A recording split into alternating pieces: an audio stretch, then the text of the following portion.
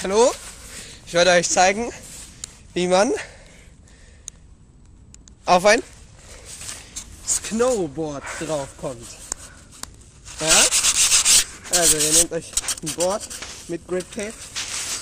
So eins zum Beispiel. Ich habe ein ganz altes, das ist jetzt schon ein bisschen benutzt, deswegen ist hier unten schön glatt. Mit dem Eis und so. Ne? Weil wir fallen ja auf Schnee.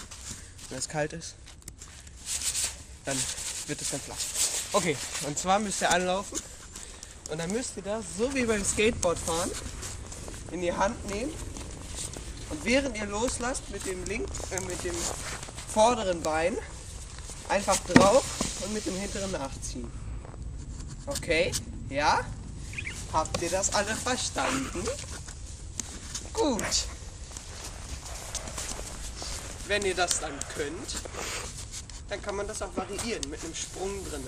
Leider wird man danach nicht so schnell. Also anstatt so machen, ah, macht ihr dann einfach einen Sprung mit dem hinteren Fuß.